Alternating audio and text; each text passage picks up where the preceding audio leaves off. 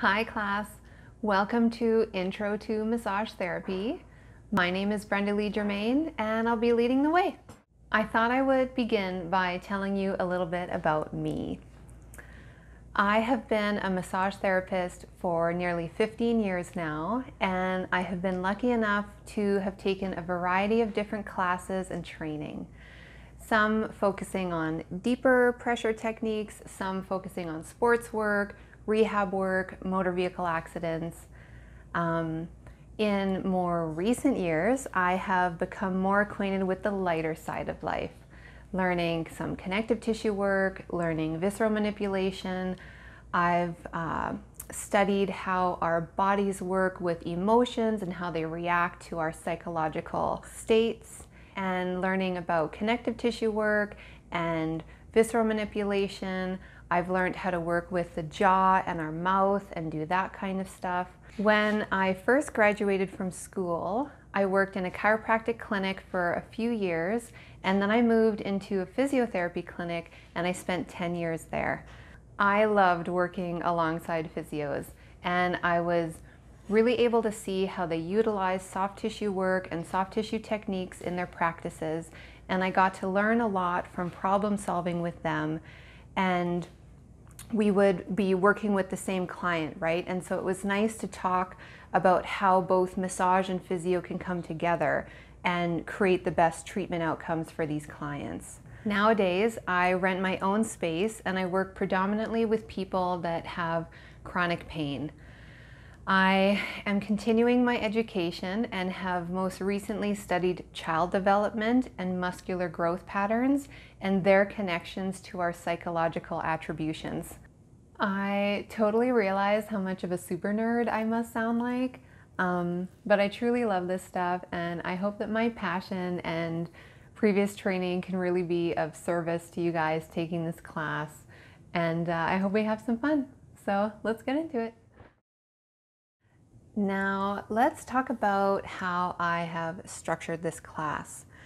Um, between the PowerPoints and these videos and later we'll talk about what to expect with our in-class time. Normally we would have the, this entire class be live and with our current circumstances happening this is really limiting what we're able to do. I did my best to include as much information as possible while prioritizing the hands-on teaching and practice time for this class when we get together.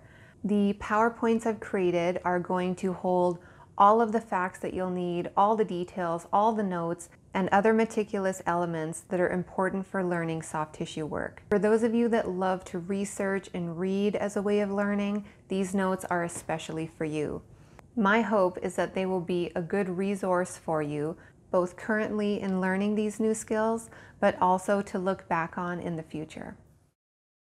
So thinking about the class objectives and wanting to give you kind of an overview of how this class is going to look, in this class we'll be teaching you obviously how to work with soft tissue using massage therapy techniques, okay? So this entire class is going to be focused on three things the indications for massage, the contraindications for massage, and the basic techniques used in massage, okay? So what that means is you're going to learn what is massage and its basic techniques, what does it look like when massage is the appropriate tool to use, what does it look like when massage is not the appropriate tool, and how to actually do massage techniques safely and functionally.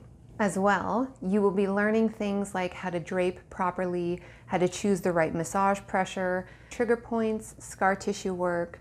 We will also go over a few special conditions such as cancer, pregnancy, how to work with amputations. You will see how to do muscle work through clothing, as well as get a chance to practice deeper techniques and how to perform them safely.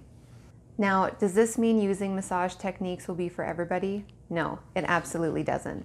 You will all find your own styles of treatment. You'll pick things up along the way. You'll change things up and figure out how to make this work for you.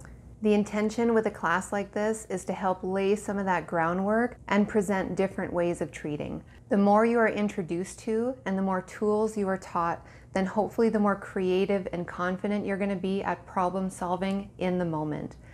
There's a plethora of possible clients and situations out there, and you will be faced with making in the moment decisions on how best to treat those clients.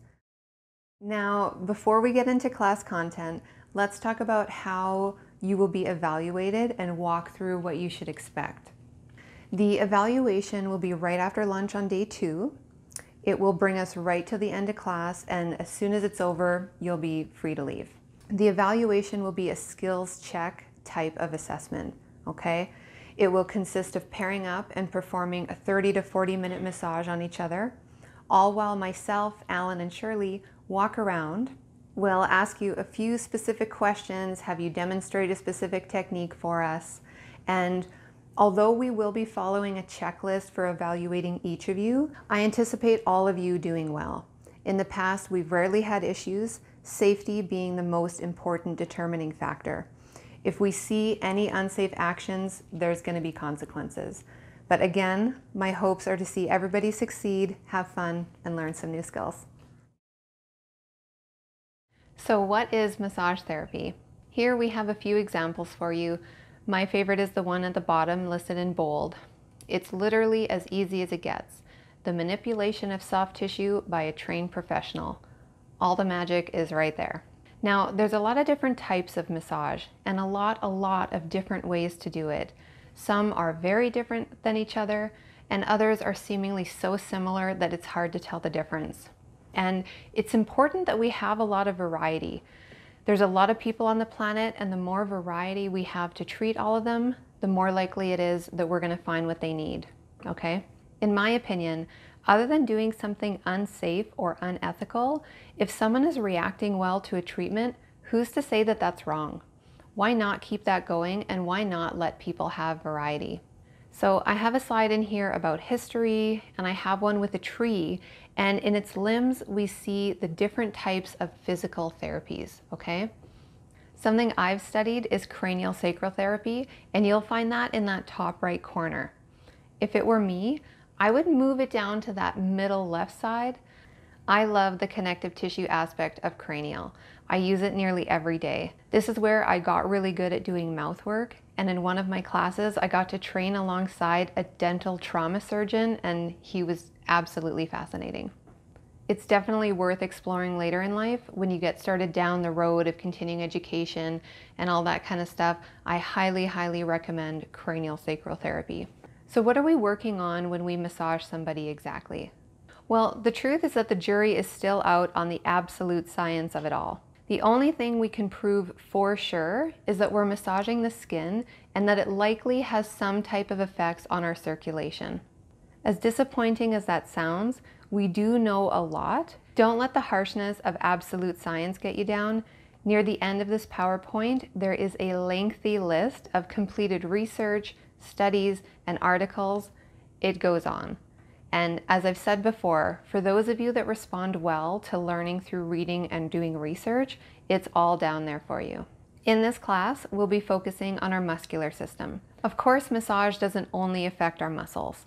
It affects all of our soft tissue, literally from skin to skin and practically everything in between. A lot of what we're made of would be described as fascia.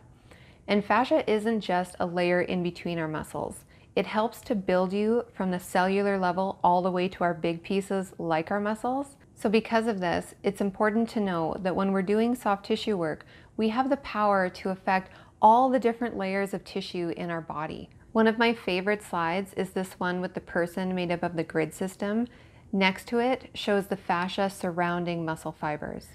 I actually had these photos up in my treatment room for a while it really helped me to envision how to look at the body and how I wanted to start working with somebody's tissues.